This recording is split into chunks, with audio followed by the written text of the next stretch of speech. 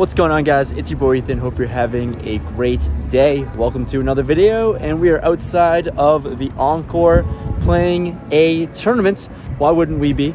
Um, it's $1,100 one day event, and we're doing this as a little bit of a warm up before the main event that we're gonna play tomorrow. So, next vlog will be the main event, I think. And uh, yeah, a little warm up. Hopefully, we can run deep. One day events are a lot of fun, and things are gonna go really quickly. So, late regging it coming in soon, and the buy in is just one of these bad boys one yellow bird, and we'll enter in 200,000 guaranteed in the prize pool. Try to run it up. Thanks for watching. Leave a like. That's always cool.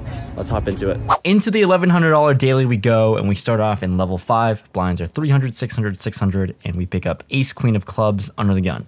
I raise it up to 1200 and get the button and small blind to call, so let's go three ways to a flop.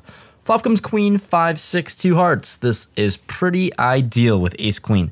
I bet out 1800 the button raises to 4,300 and action folds to me.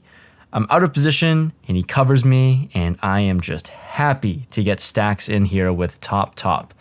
Don't want to let him see a good price with this small raise with his draws or whatever holdings he may have. So let's try to get it all in. We start off with 25,000 and I put in a very small three bet to 10.5k. And sadly, he folds super quickly. I was hoping that the small three bet would induce a call, then we can just rip it all in for like 12,000. No success here, but we still get chips pushed our way firsthand into this tournament. In the second significant hand, picking up pocket eights in the cutoff. There's a low jack who does a little limpy poo. Seen him limp queen jack suited before, so certainly can limp some strong hands. I obviously put in a raise with a good hand to 1800 folds back to the Limpy Poo, low jack, and he calls. The flop comes King 7-5 Rainbow, and he checks. I bet out 1200, and he folds. Pretty insignificant hand, but it's nice to show that early on in this tournament, we're scooping some pots and building a stack as buying in late in the tournaments, it's always crucial to win the pots early on. In the following hand, with Queen 3 of Spades on the button, I raise it up to $1,400. The big blind defends, so definitely a raisable hand here on the button. We're off to a flop of ace 9-5 rainbow. Pretty dry flop, he checks to me, and I'm gonna start bluffing and barreling off here. I bet small to 800. He makes the call, and well, we're gonna have to navigate this one, and we see a good looking turn in the 10 of spades. Brings in our backdoor flush draw, and this time he leads for 2,000. Well, I'm certainly never going to be folding, and raising at this point doesn't seem like a good option, so with my queen high flush draw, I make the call and hope to see a river. River is the deuce of diamonds, pretty much a brick. But he decides on a check. And now I feel like my hand here can block a lot of the bluffs and airballs that he may have. We have queen high, and I think betting here will never get an ace to fold, and rarely a 10 to fold either. So I decided to give up, check this one back, and wave the white flag and see what he's playing. And he announces Jack High. Flips over Jack 8 offsuit, it looks like, and oh my god, Queen High is going to win. Couldn't be happier about winning a pot like that. Progressing to level 6, blinds are 400, 800, 800, and we pick up pocket sixes in the hijack. I raise it up to 1600, but unbeknownst to me, there is an undergun player who limped, so didn't see that coming. Anyways, this undergun player makes the call after limping, and we're off to a flop of 10 6 deuce 2 diamonds. He now leads for 2500. I'm pretty confused about how this hand is developing so far, but with second pair, I don't think I can fold just yet. I make the call and see a turn. Turn comes in 8, and he decides to go all in. Yeah, it is 27,000 effective as he covers my stack. And, uh, geez, I can't call this, I don't think. So I just throw my cards back at the dealer. He shows us pocket nines, which is totally fine. Happy to just get away from this one. But nice hand, sir.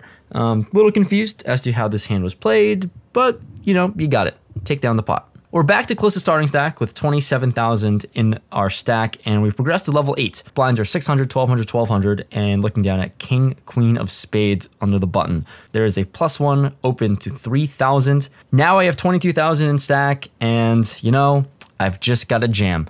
I go all in. This player in plus one thinks about it for a while and ends up folding.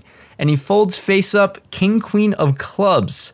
I'm pretty happy about it as we are pretty likely to chop this one, barring any spade or clubs on the flop. But we'll take this one down, and here we are, right back to starting stack.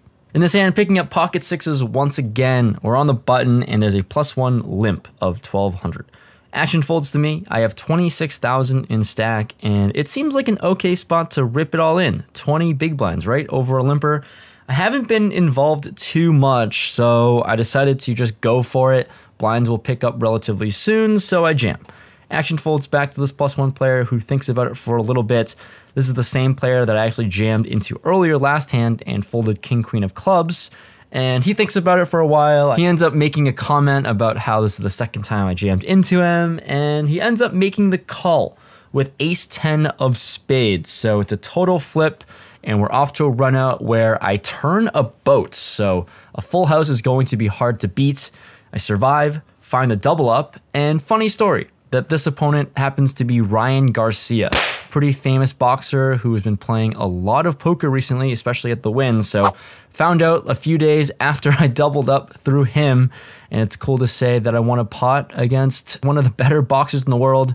Happy to beat him on the felt, but he certainly can beat my ass up in real life. Update time, we're on break and pretty much didn't have to show any of the hands that we played earlier this video and only had to show the pocket sixes because our stack went as high as like 35k, almost 40k, went back down to starting stack, then doubled the starting stack, and here we are, sitting at around 50,000 in chips, and blinds are going up, and at the very least, we survived till late reg, so this was only a one bullet adventure, and uh, I don't really know what to say. There's a lot of limpers, like right now, this specific day, there's a lot of people playing either the main event or like the high roller series at Aria, so um, this tournament field seems like it's a pretty good one, and the table seems like it's a lot of fun, so I'm having a good time and trying to pick my spots, but anyways, blinds are going up, the structure seems pretty fast, so we're gonna get involved even though we have like 30, 35 big blinds uh, to start the next level.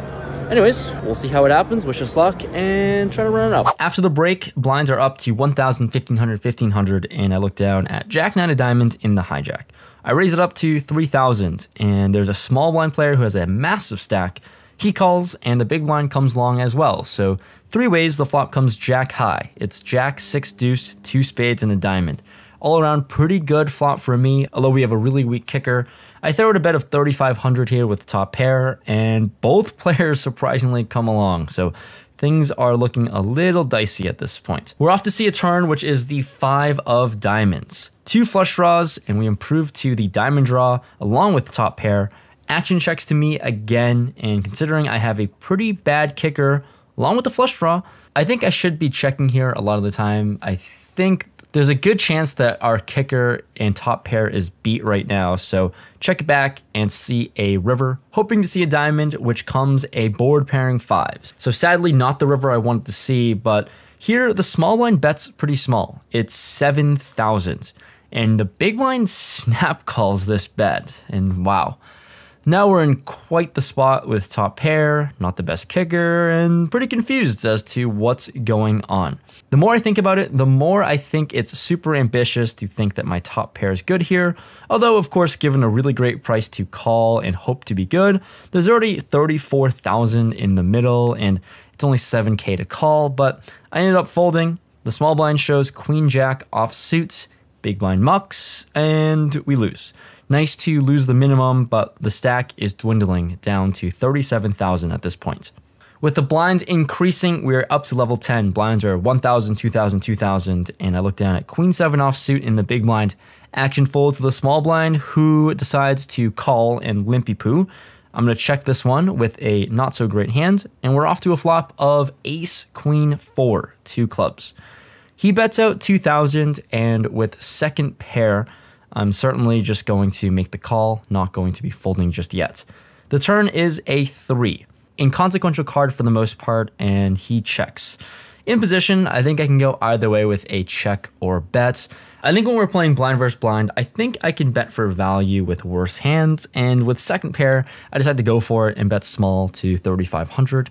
And for this small bet, he makes the call. So off to see a river, which comes the Queen of Hearts. Pretty nice to have trips here in the spot, and I have 30,000 with 17,000 in the middle already. He checks again and let's go for some value. I'm praying that we get called by some sort of ace X holding, so I bet big, almost the size of the pot and half my stack.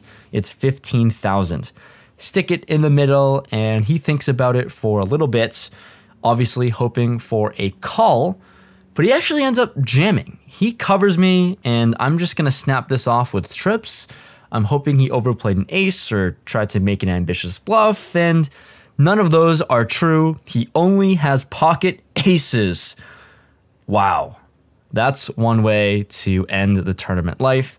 Give him the rest of my chips and GG's. That's one way to bust out of a tournament. What the hell was that? How the hell how the hell do I run into aces in that fashion? That's like so stupid. Anyways, we're out and uh, we weren't really close to the money at all in the slightest. So now I don't know what to do. That's it. But that's gonna end this vlog though. Let me know what you guys think about these tournament videos. It's like really unfortunate that I've been breaking out a lot of them. And that's just kind of the life and what you're expecting when you play a lot of tournaments is that you bust a high percentage of them and even though you make it like top 30% of the field, it just doesn't matter because you have to make top 10, 11% to cash. And um, yeah, that sucked. But um, there's always the main event that's going to come up soon. Tomorrow I'm going to play that, so there's a video coming soon. Really looking forward to it. I don't know, man. I don't know what to say. Uh, it's been pretty bloody in these tournament streets. Let me know what you guys think about these tournament vlogs. I know that a lot of them are going to be busts, and I really don't like the idea of making these videos and just busting a bunch because it's not like super entertaining, I don't think, but it is part of the poker grind, and that's kind of what I wanted to show. So let me know in the comments below. If you guys don't want to see it, then I can filter out more of these like tournaments where I play like a handful of hours of bust. But let me know. Thanks so much for watching. Like this video, and I'll see you guys next time. Peace.